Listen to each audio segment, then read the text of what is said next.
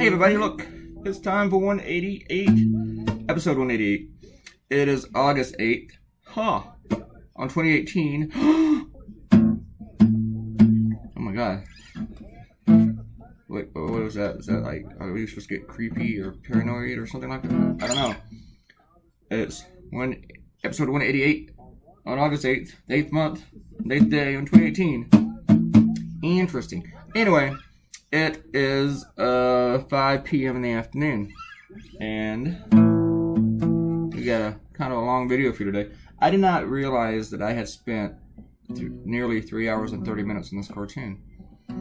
I don't know. I just kept like working on things and going back and doing things, and next thing I know, I got a really really long video for you guys. Let me pull that out. Let me say this in. Alright. Today's cartoon is on uh, Donald Trump's Hollywood star. And I think it was like 2007, whenever he got his star for hosting beauty pageants, being on The Apprentice, and just being an all around famous douchebag. Um, he had to pay for it, though. He, he paid $30,000 to have it put there. What an honor! Yay, me! I'm an honor, I guess they don't let anybody buy one for $30,000, you know? So what an achievement. I mean, there are some other creepy people in there, like Kevin Spacey. Harvey Weinstein probably has one. I don't know. I haven't looked it up. Um, so there's definitely pedophiles and some jerkoids on the Walk of Fame. Um, but his star is like a magnet for people to attack it. Um, people have spray painted on it. Um, people have let their dogs pee on it. Most people just walk by and they, they stomp on it and they spit on it. It's just a sidewalk in Hollywood. Have you been to Hollywood? I have. Yeah. Um, a lot worse things going on in Hollywood. Um, one guy built a little wall around it. Some people put stickers on it, anti-Trump stickers, and uh, one guy even spray painted a swastika on it. But to be fair, that might have been a Trump supporter. So, um, yeah, possible. Uh, but last week, somebody um, according to, to the way the witness described it, went to town on it with a pick, pickaxe. And he just tore it up. He, he dug a, a hole right in the sidewalk. On, is it on Hollywood Boulevard? Maybe. I don't know. I think kind of goes around the corner. I've been on the Walk of Fame before. I've walked on it. Uh, a lot of people have done. It doesn't make me unique. Um, I don't remember who I saw the stars. There was a bunches of them. Um, but the city council of West Hollywood decided, you know what, we shouldn't have this guy here on our Walk of Fame. So they voted unanimously to have Trump's star removed. Yay! But they, uh, it's a non-binding resolution because they don't have any authority on the over the Walk of Fame. So, yes, yay! In the Chamber of Commerce, Chambers of Commerces, they tend to be run by by the business community and stuff, so they can be like some real, real. What kind? Of, what's the kind of word I'm looking for here for people like that? They can, they, they can tend to be um, um, um that's the word that uh, uh, douchebags. Yeah, that's it. Let's go with that one. Um, but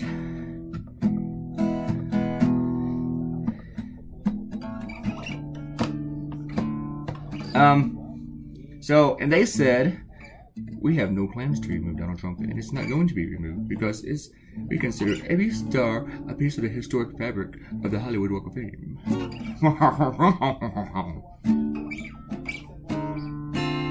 so I highly recommend that everybody in West Hollywood area with the dog walk your dog by the Chamber of Commerce and let them know how you feel about that decision.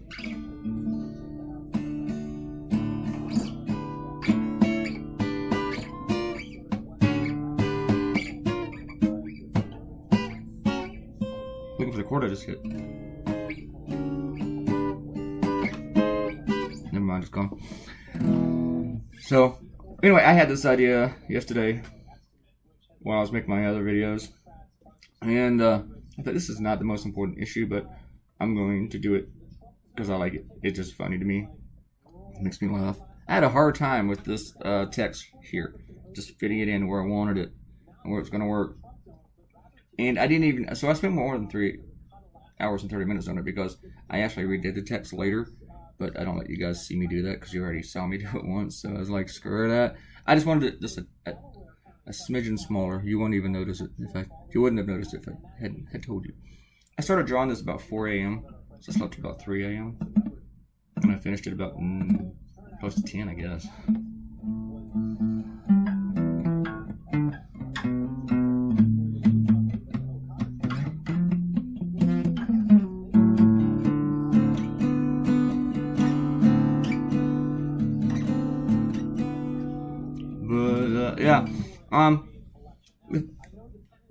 But even though this wasn't the most important thing, it's being pointed out again this week, along with just that Trump is lying more and more, that he is so racist.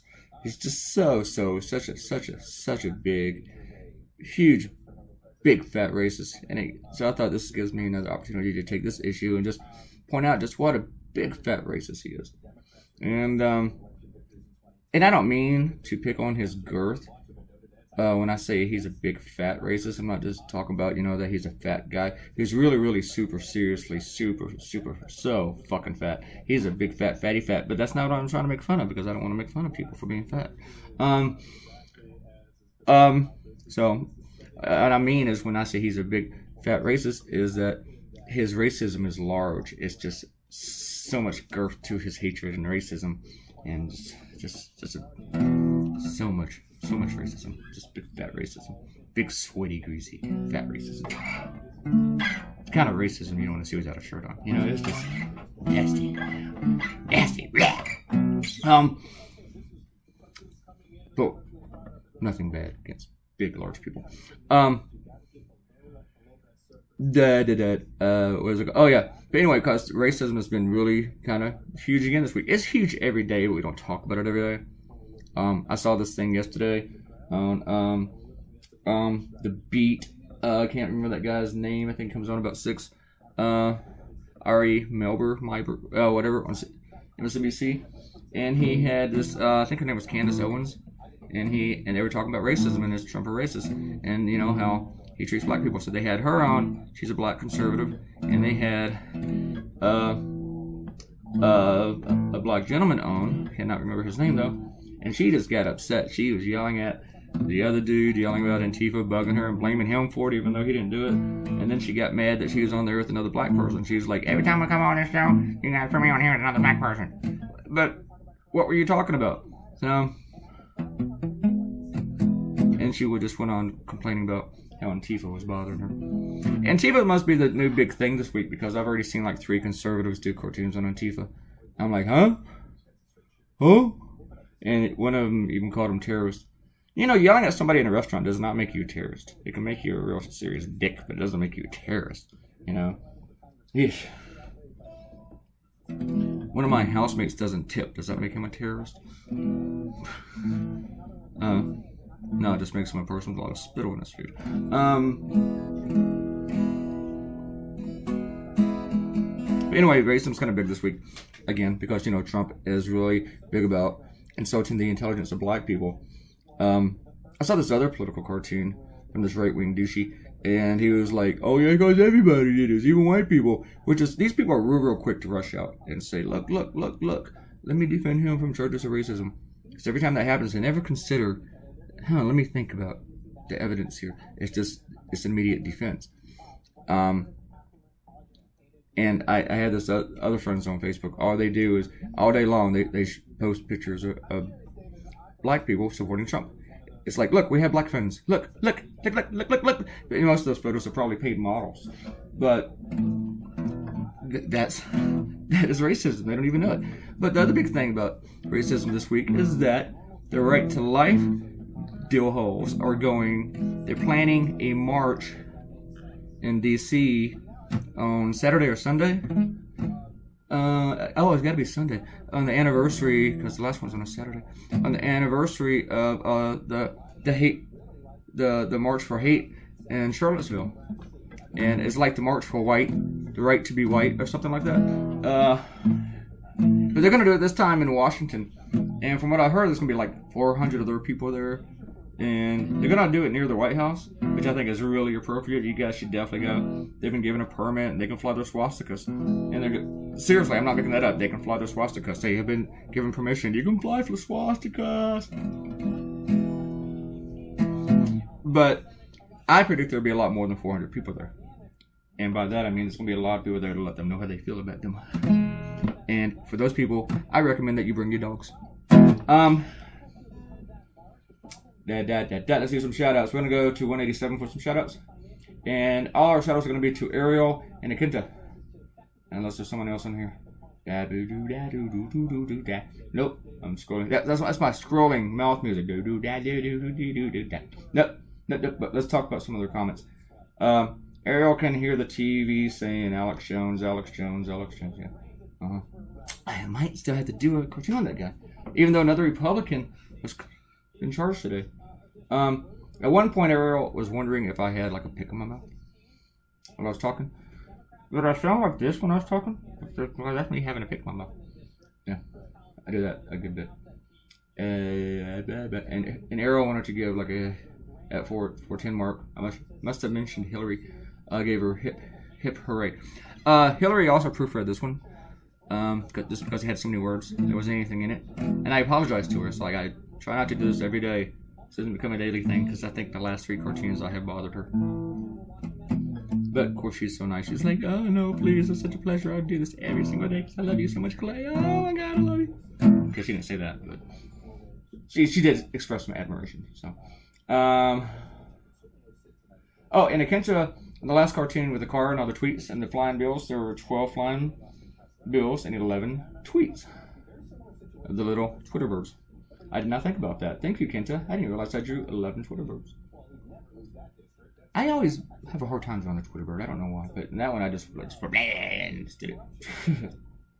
and Kenta also stayed up to watch and comment this one, and it did not disappoint. Aw, was worried about the tie for a while because the tie she didn't know if it was going to show up, and then she saw it. It showed up. Yeah.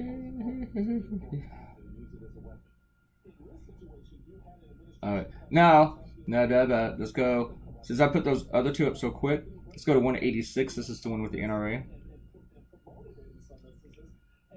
I have a constant theme in my cartoons, and that is, and maybe every photo cartoonist does, but we draw a lot of jokes.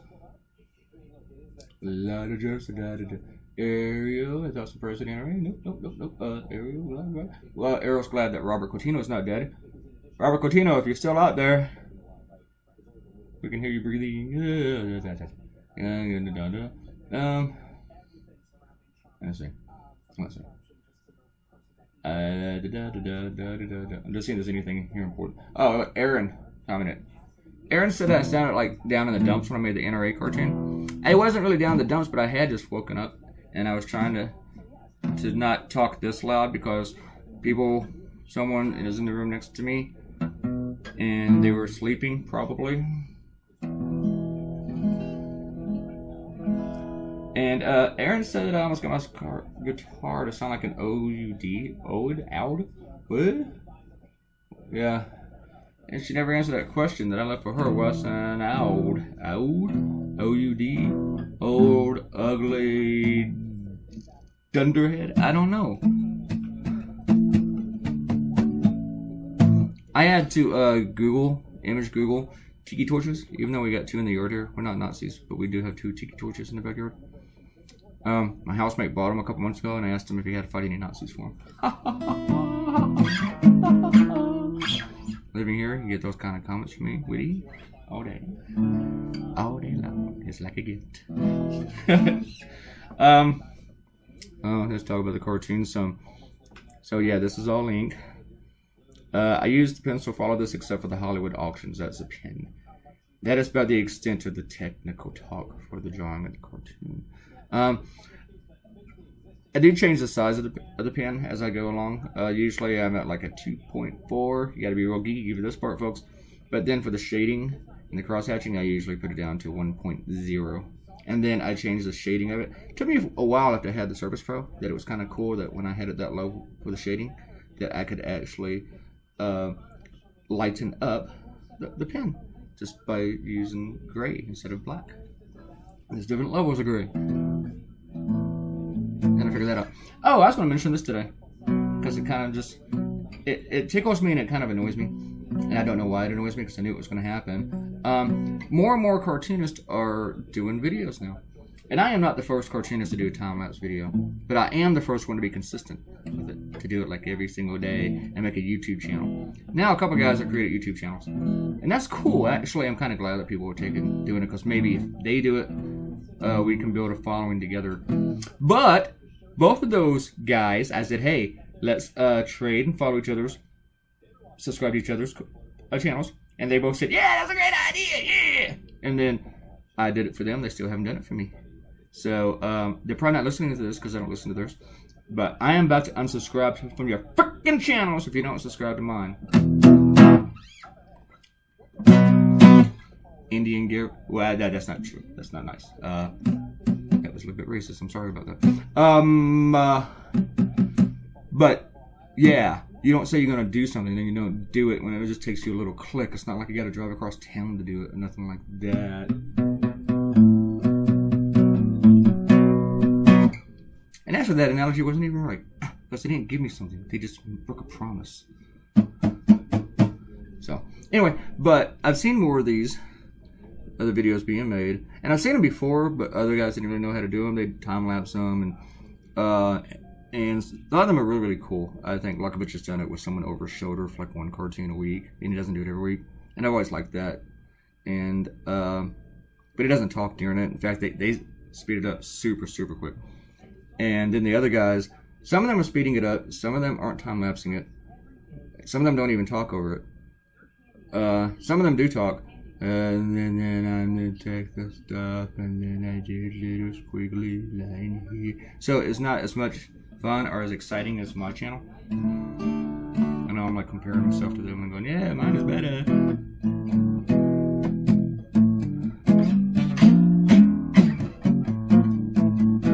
But I, I am hoping that it does actually that we all help each other out. That'd be really cool. The only thing that really really will annoy me is if they start getting way more followers than I do, because I was here first and I'm not getting that many subscribers to it. Um, so that will just so.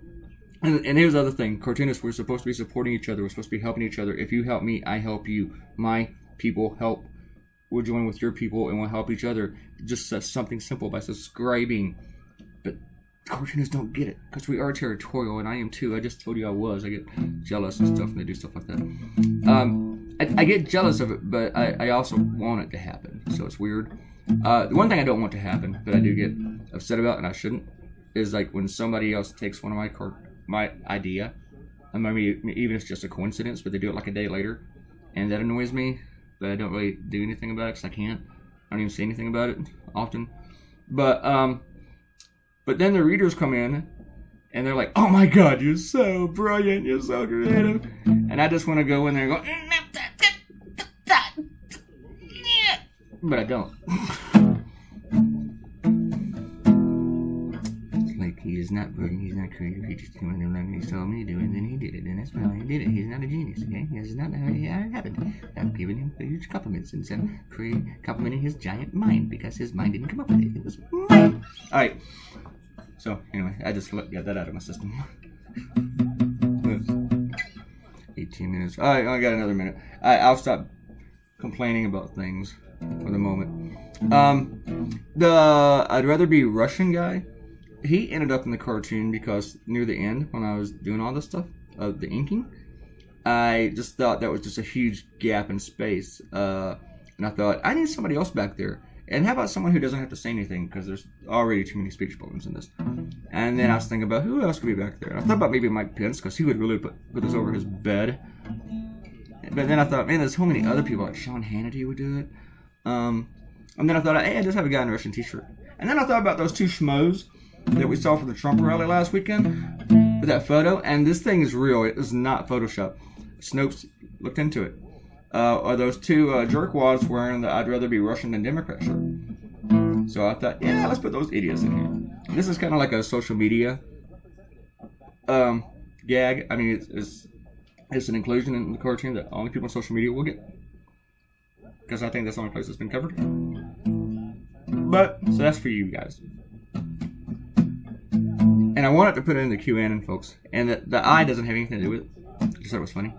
One of my readers commented within minutes, like, why is there an eyeball, eyebrow over the eyebrow? Because I thought it was funny, yo. And of course, Peppy showed up. I was trying to think about what to put on the, the D-bag shirt.